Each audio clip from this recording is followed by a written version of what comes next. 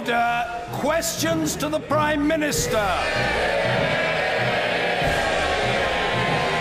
Closed question at Mr. Michael Fabricant. Question number one, sir. The Prime Minister. Thank you, Mr. Speaker. The economy in the West Midlands is performing well.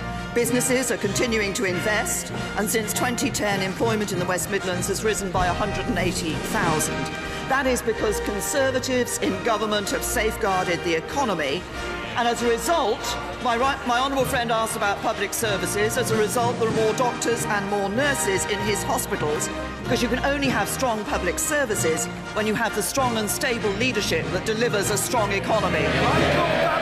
Cool.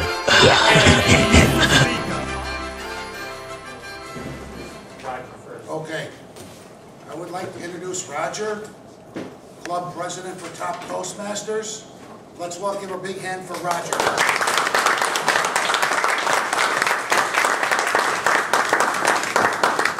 Thank you, Tim. Welcome, everybody, fellow Toastmasters and honored guests.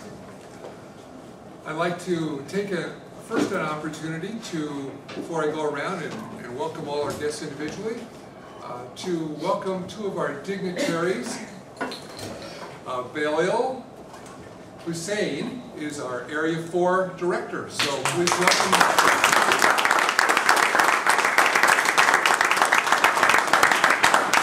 And sitting right next to him is the A5 Area Director and our newest member of TOP.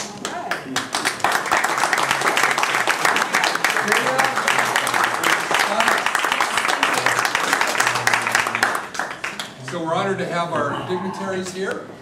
So I'd like to take just a moment to welcome our guests and to go around the room real quickly and just have you say your name and what club you're from. So we'll start over on this end. Hi, my name is Sid Chowre. I'm a part of Next Step Toastmasters and I've been a Toastmaster for about a year and a half. Welcome. My name is Joanne Palais, and I'm a new Toastmaster for TOP, TOP. I love it here, and I'm glad, I'm glad to see lots of new faces. Great.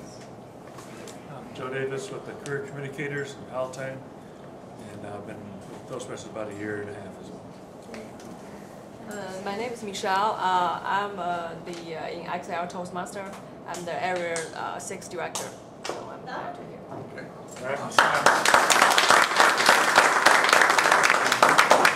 And Paul? Paul Clausell. I guess you would say I'm the assistant to the Area Three Director, uh, who's Arlene Clausell, who had another meeting tonight. Okay. Welcome. And our man behind the camera, I'm Paul Rossino. I'm a member of Cary Grove Toastmasters. I've been a Toastmaster for about 14 years. awesome. Bail? My name is Bilal Hussein. I am part of Toastmasters Plus, and I'm also the Area 4 Director.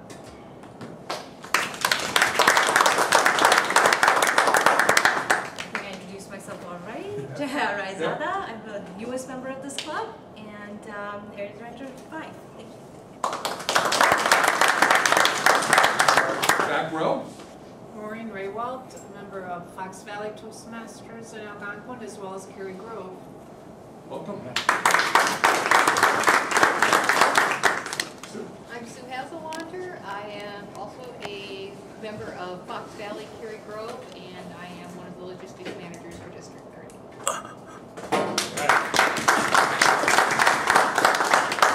I'm Caitlin. I'm Paul's daughter. I am a member of Cary Grove Toastmasters. I have been a member for almost three years.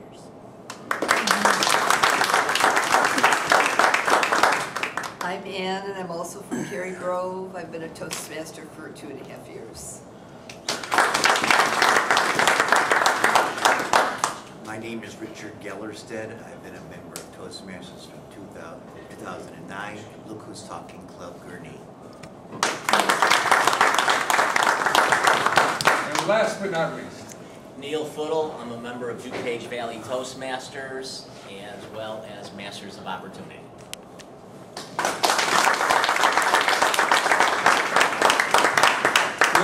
Absolutely delighted to have so many guests tonight, and you are in for a real treat because this is going to be an amazing meeting.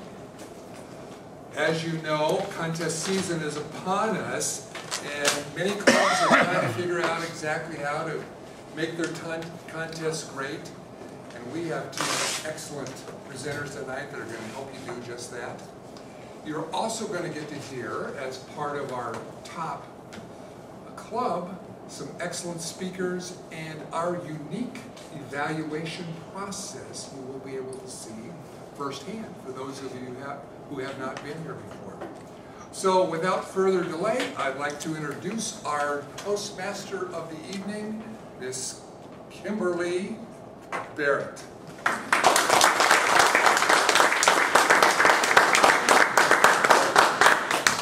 Welcome, everybody. Welcome, guests. Thank you for coming. Guest speaker and uh, all of our members. It's wonderful to see everyone tonight. As Roger said, we're getting excited about our next meeting because we're having our humorous speech contest as well as our evaluation contest next week. Tonight, Jerry Evans and Tim Bolger are going to give us an educational session for the first 45 minutes about how to have a kick butt uh, speech contest, right? Yes. Wants to do it really, really well.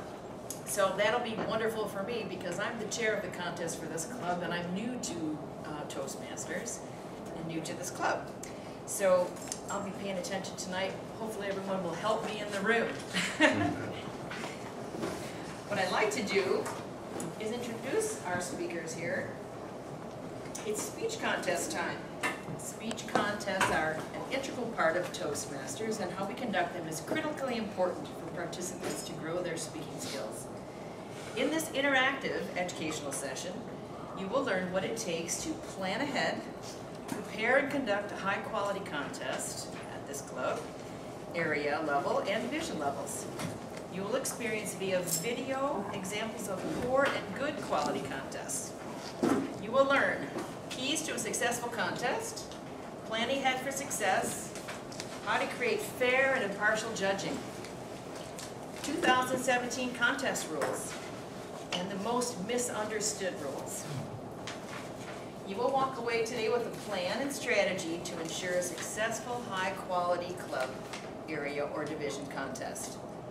This session will be conducted by distinguished Toastmaster Jerry Evans and videographer extraordinaire Tim Bolger. How to plan and conduct a kick butt quality contest. Please help me welcome Jerry and Tim.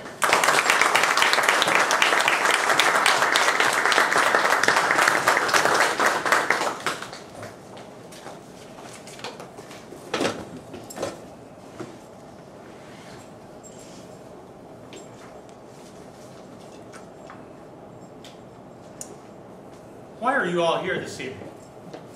Did you just come for the food and the refreshments? Did you come to get out of the rain? Yeah. Or did you show up this evening to figure out how to plan and conduct a kick butt, high quality club contest, area contest, or division contest? Yes and yes? Yes. Good, you're in the right place. Because this is going to be a fast-paced session. It's going to be interactive. Tim and I are not going to play the sage from the stage because it's all about you, it's not about us. And we want to give you as much value as we possibly can in the next 45 minutes. So when Kim introduced us and she went through the list of different things that we're going to talk about this evening, we're really going to share some information with you because I know a lot of us in this room who've competed in contests, have run their own club contests. We've seen kind of the good, the bad, and the really not so good we? How many of you, just a quick survey, how many of you have been contest chairs before?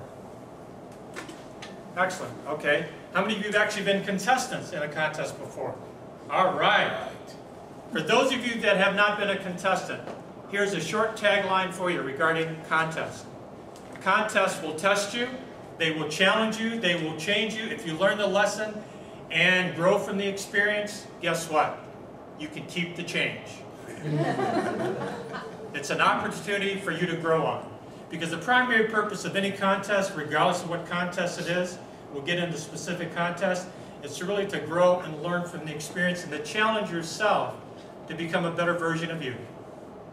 It's not about me competing with Michelle, it's not about me competing with Joe or Vipau or Val or anyone else in the room. It's challenging yourself to deliver the best version, speech, humorous speech, table topics, evaluation, or whatever it is. Because when you learn and you grow from that experience, then you're not getting caught up in your head worrying about someone else and their speech.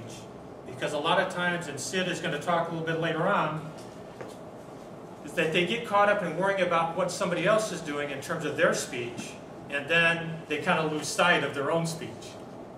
Does that make sense? Because we get all this feedback, it's coming at us from all different directions. So tonight, let's get into talking about how do you conduct, how do you plan a quality speech contest. And Tim is going to be showing some videos. We're going to, to illustrate the point, so you'll see live video that he's recorded.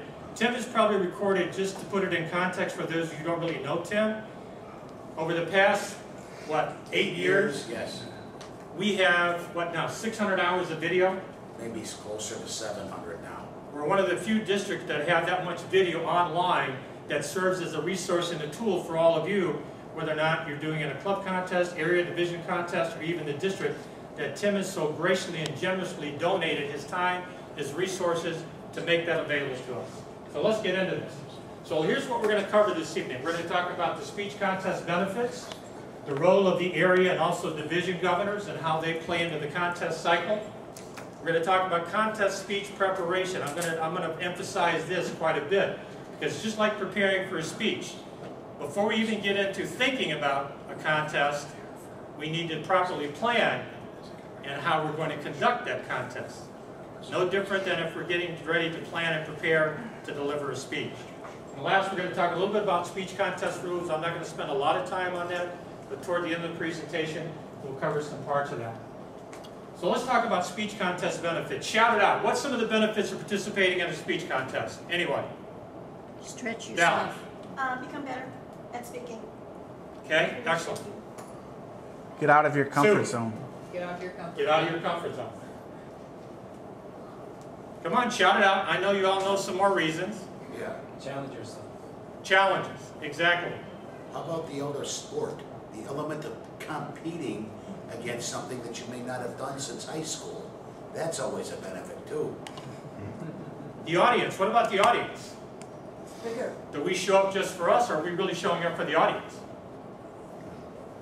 Right? It's not about us, it's about the audience. Yeah, Oh, especially, you know, when you get up to division and then district, it's a much larger audience, a bit much larger room than your Right. typical club meeting. and to that point, it also gives you an opportunity to get much more what? Practice. Practice. Practice, practice, practice, stage time, but also feedback. You get a lot more feedback. Sid can tell you this, when he studied at club, went to area division onto the district, did you get a lot of feedback, Sid? Yes. And he's still craving that feedback in his international speech contest. It's also an opportunity for all of you, when you conduct a club contest, that's where it starts. It's an opportunity for what? Membership building, which is why we invited you all here tonight. Not just to listen to the presentation, but you could be potential members for Toastmasters on purpose. We are Steve. accepting applications. Something that I, that I can't overemphasize. Okay. It's the relationships that are developed between the area directors and, the- and the divisions, because they, they rely on each other to run the contests, but those relationships are relationships that last for a really long time, and, and, they're really strong. And, you know, each of the area directors in a division, you know, they each have to help each other, for all of them to, to Absolutely. do well. You know, we all are aware, I think, that none of us do this alone. And certainly when it comes to contest, you cannot do it alone. There's a lot of moving parts to the club, and then you get to the area, and you get to the division, of course, the district, it just keeps escalating each level we go through. So let's move on. So district officers, it's also an opportunity for district officers to learn more about contest.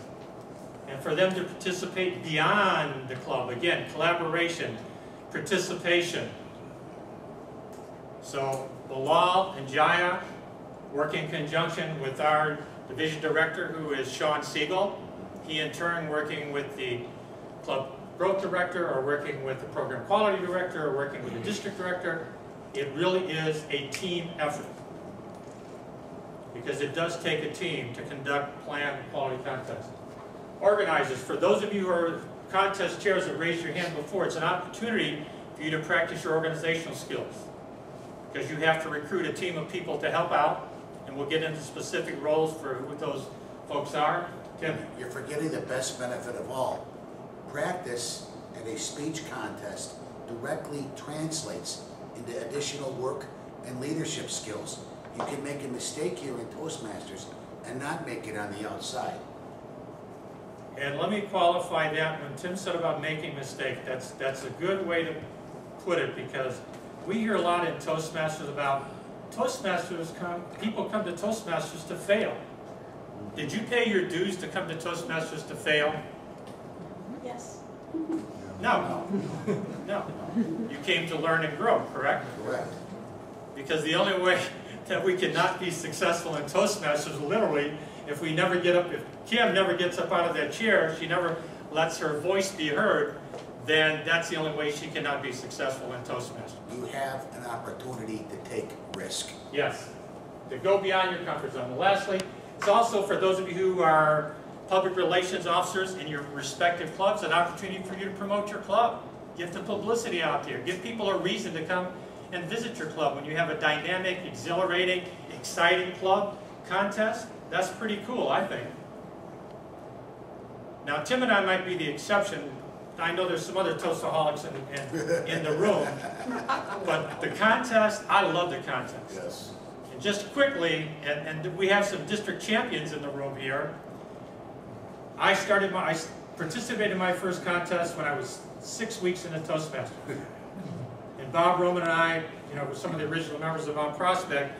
And Dick Stora, some of you have heard this story before, who's a 57-year seasoned Toastmaster. He's the one who convinced me to participate in a humorous speech contest. I had no idea at that time what that was. But he kind of, you know, gently twisted my arm, and six weeks I got into it. So let's move on. The role of area division directors, they play an important part because they can help you with contest planning, they can help you with the contest rules, and also to assist where you have maybe some folks, you don't have enough people, they can help find you folks to fill in for your club contest. Some of you ever had that happen before, where you have to reach outside of your club, right? You've got to recruit other people for either your target speaker, or you need judges, or you just need helpers in general. You also act, they act as a resource for your club contest. And hmm. however, the area director should not serve as your contest chair. You should have someone within your own club be the contest chair. They can help you with the functionary roles, but as far as the contest chair goes, the word emphasis not having an area director, division director be your contest chair. The other thing that happens, Steve mentioned it in terms of teams, because they've got a little bit more experience because they've been in the club, now they're responsible for a group of clubs. They can bring that experience, that knowledge to your club to help you. The same thing at the area, the same thing at the division level. So let's talk about the key roles. And then we're going to look at some video here. So let's talk about the key players. So these are your key roles. And I'm going to go through this. If you have questions, please stop me. If you have additional questions, please jot them down, and pad, pen, and then later we'll, we'll address them. So your key roles are your contest chair. Those of you who've been a contest chair, you're responsible for pulling all the forms, everything together, so that you're not putting it together at the last minute. And I would suggest to when we get into the plan, talk about the planning phase of it, how many of you have already had your club contest? You're going to have your club contest the next meeting this month? The majority of you? Okay, so good. We've, we've got you in time.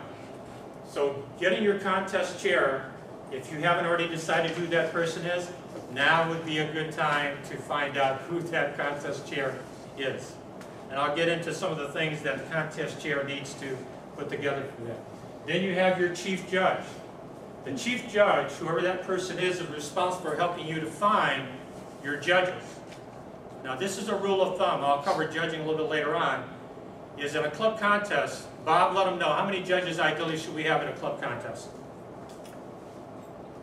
Four or five judges. Right.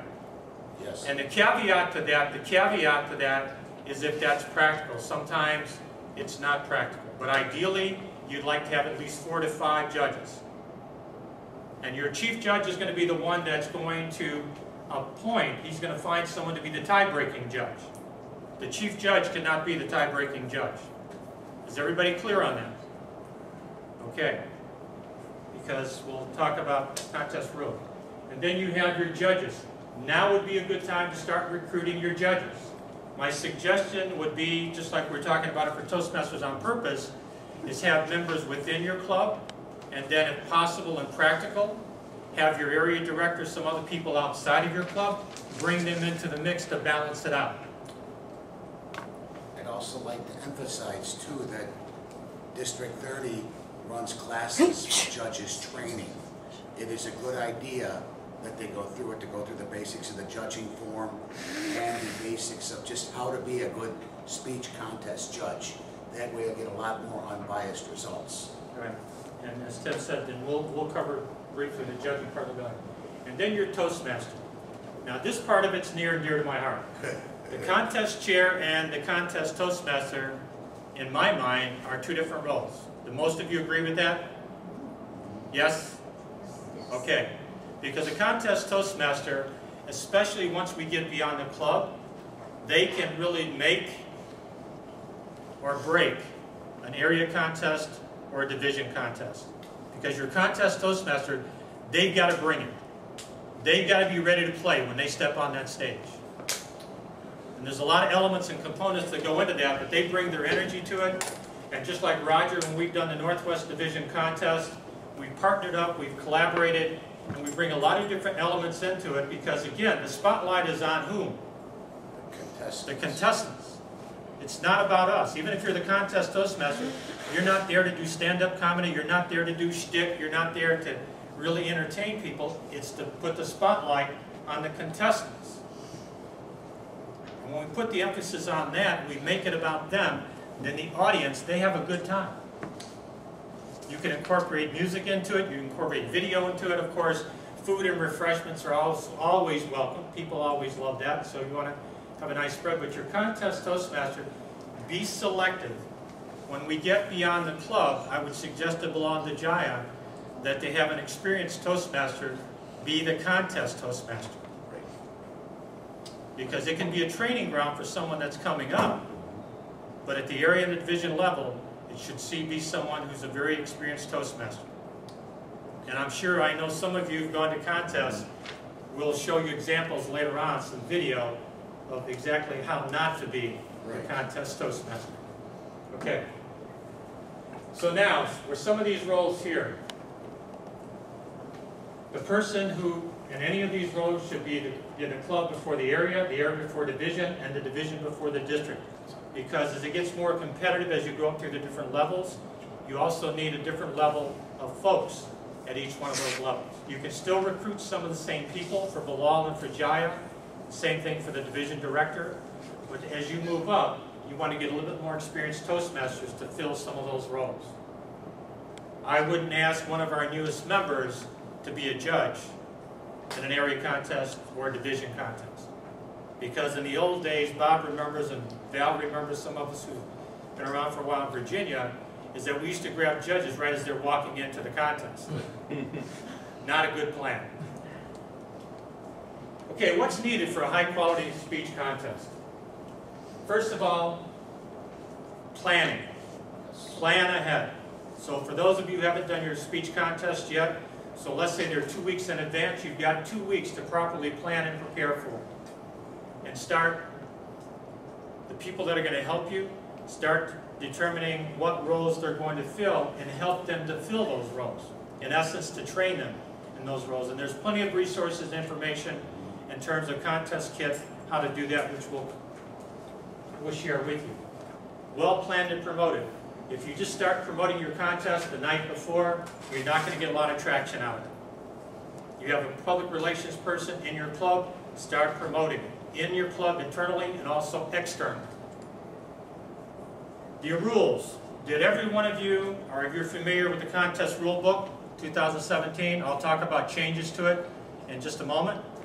But all, when you, when those of you who are officers, your officers should have received in the leadership handbook along with 2017 contest rulebook. Please read this. Please read this. Yes, Richard? When does that come out? It came out with the leadership handbooks that were distributed to the officers, but I'm gonna give everybody resources so you can go online. Everything we're gonna talk about tonight, it's all via digital downloads. And we'll give you the links. In fact, Roger's gonna put it on the uh, top website. Right. So everything we discussed tonight, you'll be able to go on top. He'll put it in a Dropbox. You'll have access to all that information. Fair enough? Okay. But please take the time, I can't emphasize enough, please take the time to read the contest rule book. It's very important that you thoroughly understand the rules. Okay, that's top.toastmastersclubs.org. Okay, what are the elements of speech contest? So district direction. We talked about the key roles in it and then having the judges trained as we get up to some of the higher levels. Even at the club level, you want to have quality judging. Because whoever your chief judge is, and when it comes to the briefing part of it, if I'm the chief judge and I'm briefing Michelle and then other folks are helping out with it, oh, Michelle, you've done judging before, haven't you? You know what to look for. That's not being a good chief judge. That's not going through a proper briefing. You need to go through with the judges exactly what's expected of them because it's important to, like an example, imagine Sid, if they didn't do that, if, if whoever the chief judge was didn't really brief people and he's competing in an international speech contest and not understanding that they're going to go by the criteria when we get into the judging form, very important piece, so be careful about who your chief judge is. Area division governors, again, they can help you with your contest and they can provide additional mentoring and assistance in your contest. These are all the different elements. We're not going to cover each one line by line by line, but these are all the different elements of a contest. There's a lot of elements, aren't there? Yeah. Remember when I said there's a lot of moving pieces? Now, not all of them necessarily apply at the club level, but if you go to area, you go to division and beyond, most of them are going to apply in some form or another. You get a chance to practice all these different things. Because even from the opening bell, when Tim is going to show you a video in a little bit, how we start the contest, that's really important. Because in the case, let's say Bob Roman, Bob belongs to Mount Prospect Toastmasters. They're going to have their club contest on the 15th of August. Well, he already, he's already started reaching out and saying, okay, who's going to be my target, who's going to be their target speaker for the evaluation contest? If you haven't identified your target speaker yet, now would be a good time to do that. Yes, Hazel? Since people belong to more than one Toastmasters club, can somebody um, be in the contest as a contestant from more than one club? Yes, in the club level they can, but once you get beyond the club, you have to choose the area that you're going to compete in. You can't cross over areas. I run into that every year and I think it's a terrible rule. But that's just me. Yes, Bob? How about districts? You can't cross over districts either. Some of us belong in multiple districts and I don't like that rule either. But that's Toastmasters International rules. Yes, Kate? Just for clarification, a- adding on to Hazel's question, so if someone's gonna compete in two different uh, clubs, do they use the same speech? They Has- can. They can. That's up to the discretion of the contestant. In the case of international speech contests, Sid, would you recommend that? No. No, because all the time that sometimes international, like Prez Vasilev, who won in 2013, he worked on an international speech for two years. He didn't just come up with that speech overnight, because originally when he didn't win at district, he, he revised, refined that speech, and he came back two years later, became the world champion in public speaking. But that's, again, entirely up to the discretion of the contestant. So anyway, so just to sum this up, so these are all the different elements. You'll get, you'll again, you'll get, you'll get a copy of the PowerPoint slides, so don't worry about writing all this down. So there's a lot of different things. One of the things that I want to, I want to point out though to you all is this one right here, a little bit later on. You see this part here, contestant interviews and certificates of participation. By a show of hands, how many of you have been to a contest where toward the end, after do the interviews, and they present the certificates.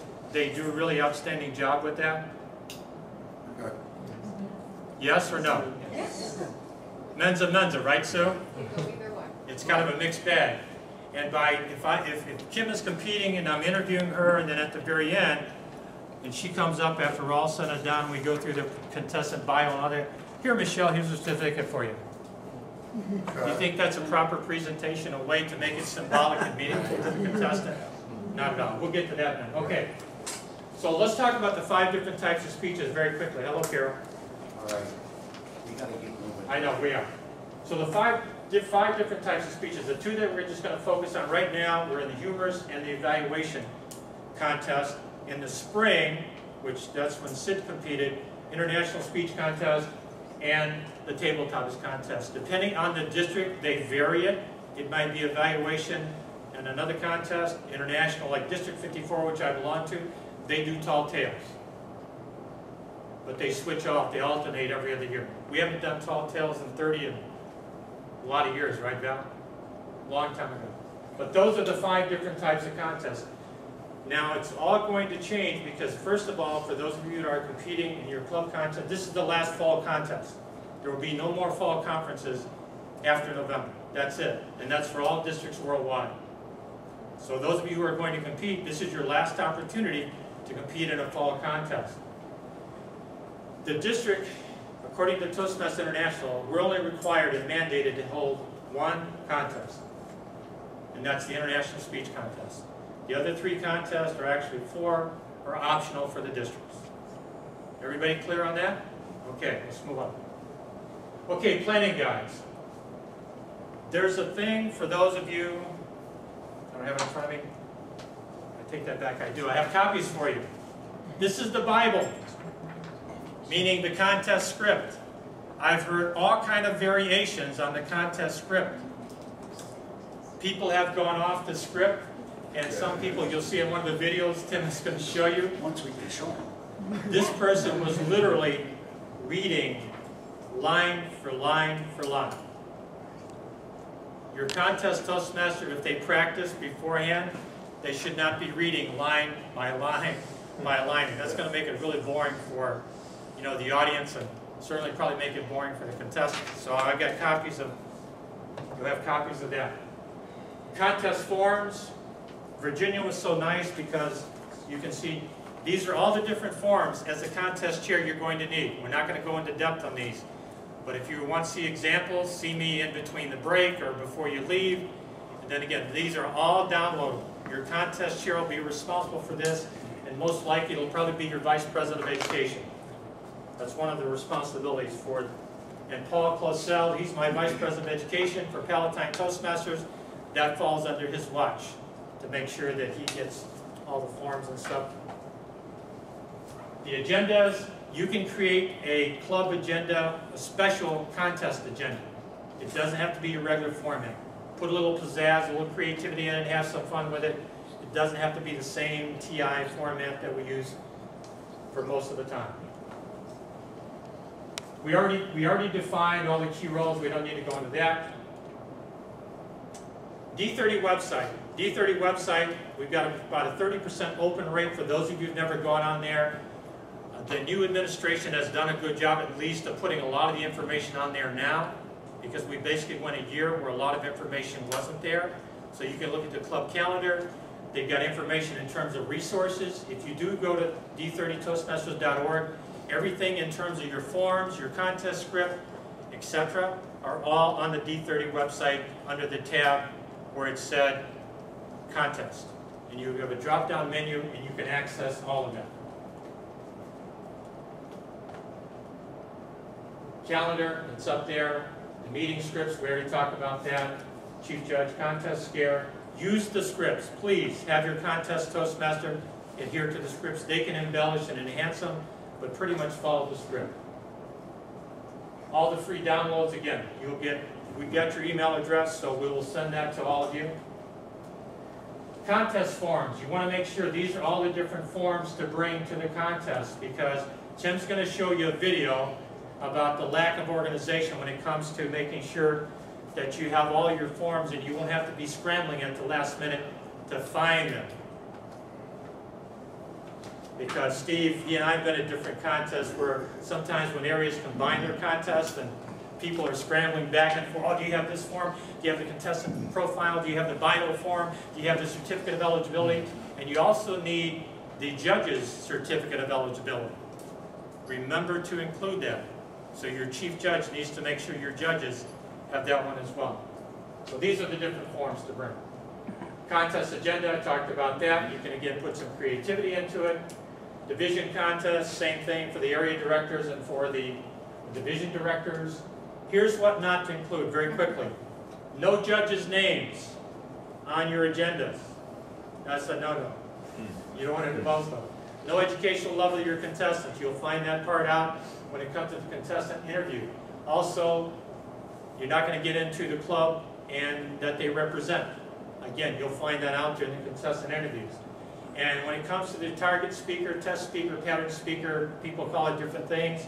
Again, you don't divulge any of that information. You're only going to give the target speaker's name, the title of her speech, title of her speech, and her name. That's it. Okay. Club visits, flyers, all this stuff, encourage members to become contestants. I have a pass-out sheet for you. You can pick this up. This is six reasons why your members should be a contestant in a speech contest. Okay. Contest flyers, I'm sorry, I have another already question. talked about the rule book. Jim, let's show them, at this point, let's show them some video. All right. Of kind of the good, the Can I bad. ask a Yes, quick Hazel? question?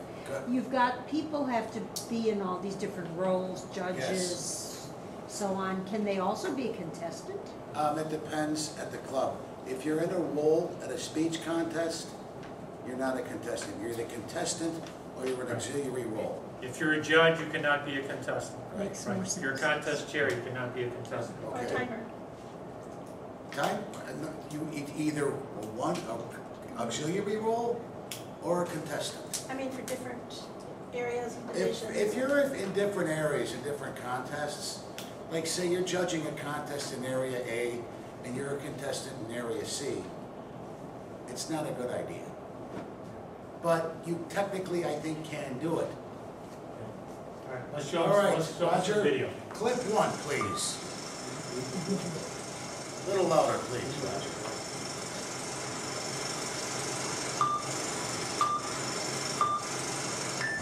Of course, we have to have the official Toastmaster certification. For speech and dignitaries, there's kick button. The humorous speech contest. The mere epitome of Toastmasters. Brief remarks with a little bit of humor. During the break, please silence them now. Watch how Jerry kind of, of takes it to a high art form. And Iqbal will confiscate your cell phone and use it at the fall concert. Hmm. This next, okay. Everybody have those, I need to repeat them for anyone. See, good Toastmasters get right to We'll now business. proceed with the humorous speech contest. There will be one minute of silence between the first contestant and between each contestant. Timekeepers, when I advise you to do so, please advise me when the green light, one minute is up. And after the contest, all the contestants have spoken, the judges will be given all the time they need to mark their ballots. We will now begin the humorous speech contest. We can applaud.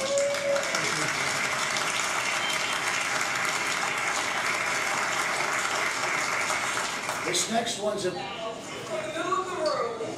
that was a disclaimer I had in my video. So I'm doing what we call the stretch, so everyone has time to get to their seat. This is a Toastmaster who goes off script. She's got the humor in there, but it's way off point. According to the script, please be See? seated for the next contest. We will now conduct the international speech contest. If you used your cell phone during the break, please ensure that it is on silent or alarm, or better yet, turn it off. See, this is exactly the way the script says it. I think my way is much nicer. You know that you had to go out and communicate to the mothership, so. Shut it. Although humorous, it's not good part of the contest. For those of y'all, for those of you all who didn't know, I did not want to be South Division Director. You don't want your dignitaries up there with an open clock. DTM means Distinguished Toastmaster, not don't time me.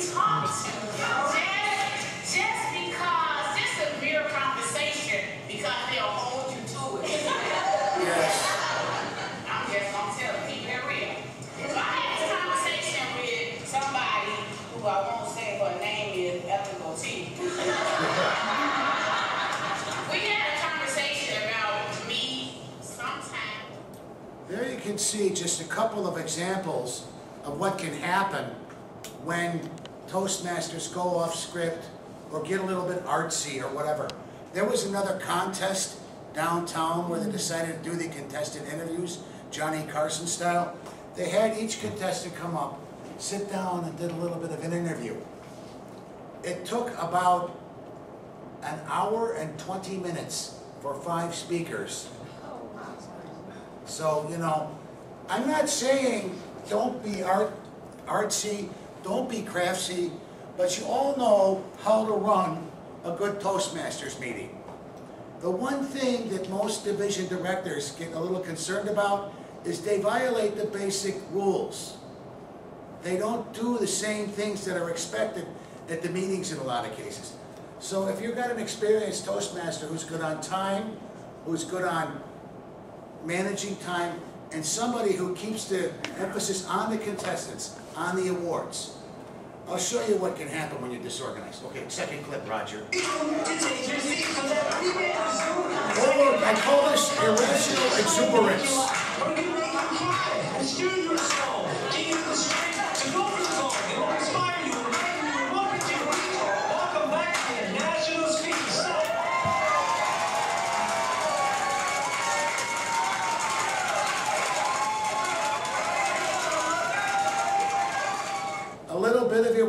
Exuberance, something like that, could be very useful to get the crowd back going up afterwards. The next clip, Roger. This one is a, is a similar. to organize your life. My name is Eric Finding. I will be the facilitator for today. Again, if anyone needs writing utensil, please raise your hand or paper. Keep them raised. Will go ahead and uh, make sure you get something. First, I want to go out and I want to start by introducing Jim. He's going to, again, talk about organizing life.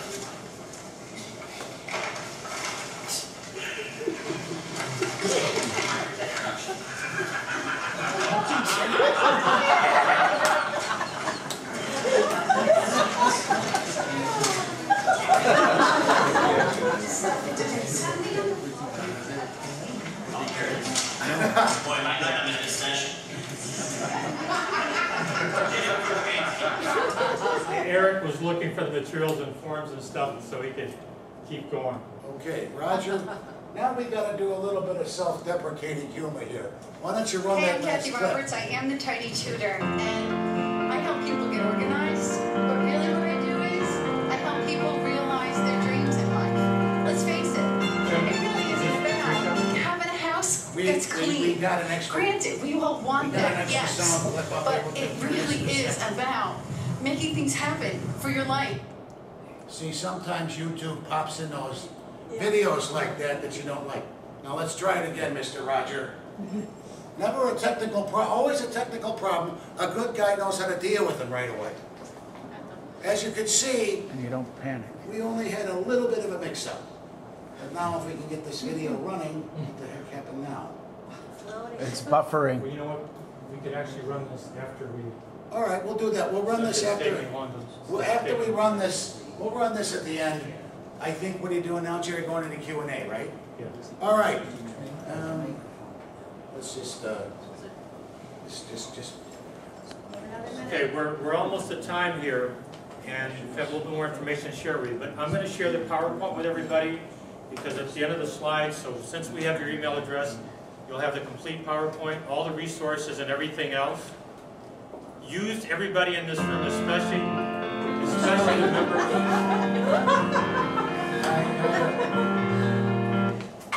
Okay, thank you. Especially the members of Top Tap into them as resources. Look at your fellow Toastmasters, those who are experienced and have a lot of uh, experience running club contests, area contests. Paul. Also, this presentation will be posted at timvid- timsvideo.com. And we'll also have it on the front page Of of the D30. top. Click, click on uh, Toastmasters, or no, click on District 30 and top, and you'll find, when we get it posted, this presentation and many others on my top. So I have two handouts for you, Kim, site, if you start Tim? circulating. It's gonna be on the, it'll be on the front page of the club website. Roger's gonna pull up uh, timsvideo.com on the web browser here in a minute. Um, you can start circulating. And uh, what we'll do is we'll just, uh, So those are the two, those are the two handouts that we have for you. The first handout that you're getting is a contest speech uh, checklist to kind of serve as a memory jogger for you. And the second sheet that I'm giving is the six reasons for people in your clubs to participate in contests. And if we wind up short on anything, whoever doesn't get one, let me know.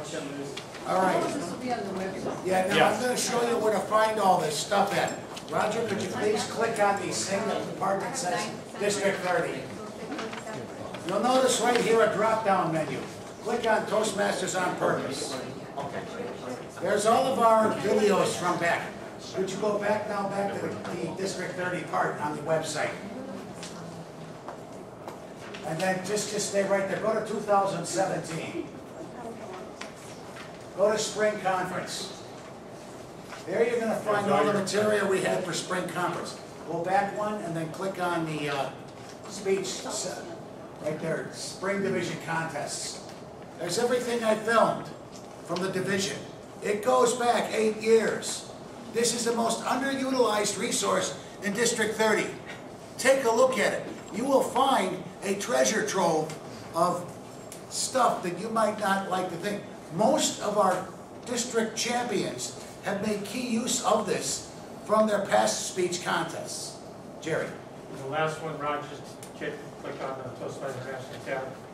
So when you go to TI, again, under resources, again, you can have, you can download anything and everything. If you have any trouble navigating it, just talk to one of us, or, you know, see again, somebody within your club that's really savvy with the uh, Toastmasters National website, because navigating it sometimes can be a little kind of tricky. You can just search in that box at the top on contests. Pardon me? Just hit that search box at the top, Yeah, it they says can- contest, and it takes you right They there. can do that too, yes. Okay.